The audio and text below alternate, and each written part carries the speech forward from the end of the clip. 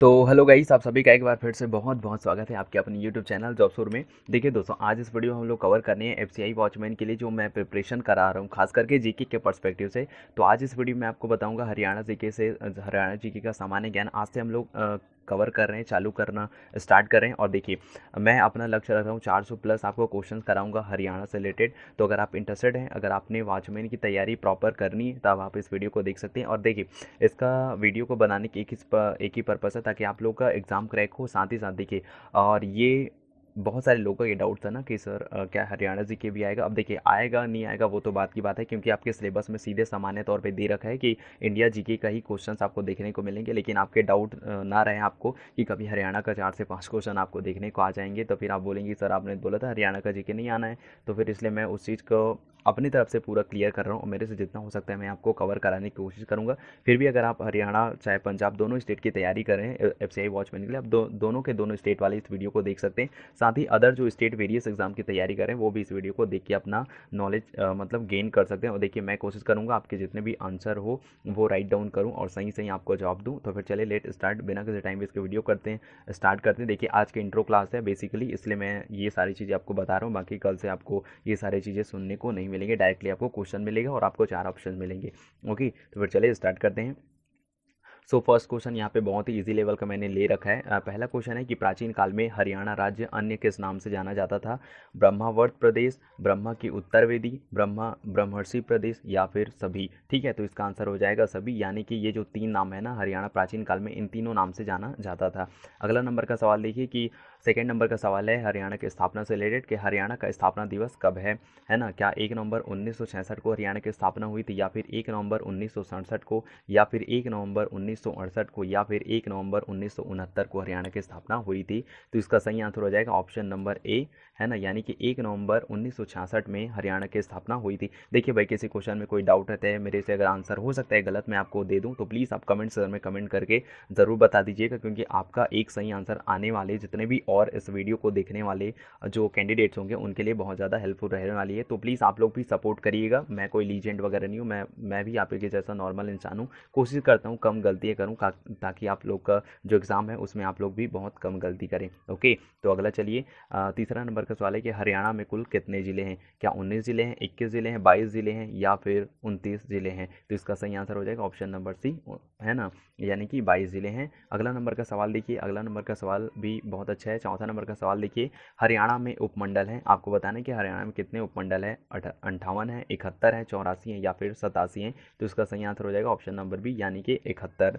मतलब हरियाणा में उपमंडल हैं। पाँचवा नंबर का सवाल देखिए कि हरियाणा का प्रथम राज्यपाल, आपको बताना है कि हरियाणा के प्रथम राज्यपाल कौन थे? क्या है ना, वीरेंद्र नारायण चक्रवर्ती थे या फिर रणजीत सिंह नरूला थे या फिर धर्मवीर थे या फिर महावीर प्रसाद जी थे? तो इसका सही आंसर हो जाएगा ऑप्शन नंबर सी, यानी कि धर्मवीर जो थी, यानी कि ये जो व्यक्ति थे, ये हरियाणा के प्रथम राज्यपाल थे। नाम से लेके कहीं पर अगर कोई गलती हो जाए तो प्लीज़ आप उसको बता दीजिएगा।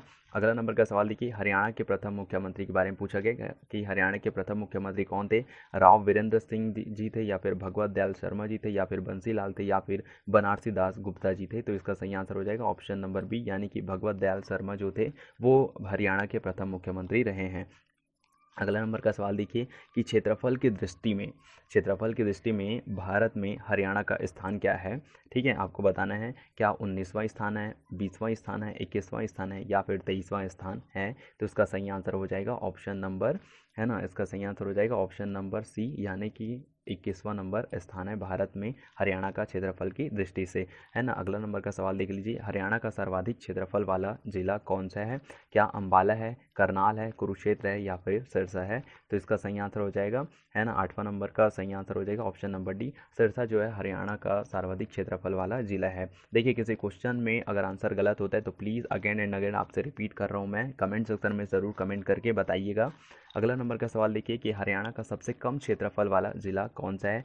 सोनीपत है, फरीदाबाद है, पानीपत है या फिर यमुना नगर है? तो इसका सही आंसर हो जाएगा ऑप्शन नंबर बी, यानी कि फरीदाबाद, हरियाणा का सबसे कम क्षेत्रफल वाला जिला है। अगला नंबर का सवाल देख लीजिए कि हरियाणा का सबसे अधिक जनसंख्या वाला जिला कौन सा है? क्या फरीदाबाद है, हिसार है, भिवानी है या फिर गुड़गांव है? इसका सही आंसर हो जाएगा ऑप्शन नंबर ए, यानी कि फरीदाबाद ही सबसे कम जनसंख्या वाला ज़िला है और सबसे कम क्षेत्रफल वाला वाला ज़िला है। अगला नंबर का सवाल देख लीजिए, हरियाणा का सबसे कम जनसंख्या वाला ज़िला कौन सा है? देखिए सॉरी मैंने एक क्वेश्चन में गलत बता दिया था थोड़ा सा इसमें इसमें अलग आएगा, है ना? क्या यमुनानगर है? क्या पंचकुला है? महेंद्रगढ़ है? या फिर कुरुक्षेत्र है? तो इसका सही आंसर हो जाएगा ऑप्शन नंबर बी यानी कि पंचकुला जो है, हरियाणा का सबसे कम जनसंख्या वाला ज़िला है। अगला नंबर का सवाल देखिए, जनसंख्या से रिलेटेड है कि जनसंख्या की दृष्टि से भारत में हरियाणा का स्थान क्या है? पंद्रहवा स्थान है, सोलहवा स्थान है, सत्रहवा स्थान है या फिर अट्ठारहवा स्थान है तो इसका सही आंसर हो जाएगा बारहवा नंबर का ऑप्शन नंबर डी, यानी कि अट्ठारहवा स्थान है। ठीक है? अगला नंबर का सवाल सुन लीजिए। हरियाणा का राजकीय खेल क्या है? कुश्ती है, कैरम है, चेस है या फिर शतरंज है? तो इसका सही आंसर हो जाएगा ऑप्शन नंबर ए कुश्ती जो है हरियाणा का राजकीय खेल है। अगला नंबर का सवाल सुनिए कि हरियाणा का राजकीय पशु क्या है? घोड़ा है, खरगोश है, वानर है या फिर काला मृग है? तो इसका सही आंसर हो जाएगा ऑप्शन नंबर डी, यानी कि काला हिरण, काला मृग जो है मतलब हरियाणा का राजकीय पशु है। अगला नंबर का सवाल सुनिए, हरियाणा का राजकीय पक्षी क्या है? कौमा है, हंस है, काला तीतर है या फिर उल्लू है तो इसका सही आंसर हो जाएगा ऑप्शन नंबर सी, यानी कि काला तीतर जो है ना, हरियाणा का राजकीय पक्षी है। तो आई होप आज के क्वेश्चन आप लोग को ज़रूर पसंद आए होंगे। देखिए, क्वेश्चन के क्या है, एकदम छोटे बच्चों लेवल का है, लेकिन मैं कोशिश कर रहा हूँ क्योंकि ये मेरे लिए भी बिल्कुल नए हैं। मैं आपके जो डाउट्स रहते हैं, जो आपके क्वेश्चन रहते हैं, कमेंट सेक्शन में जो भी आप कमेंट सेक्शन में डिमांड करते हो कि सर इसका भी आएगा, इसका भी नहीं आएगा, इसके बारे में डाउट्स मैं आपके जो भी कमेंट्स होते हैं, उसी के अकॉर्डिंग मैं आपके लिए सवाल लेके आता हूँ।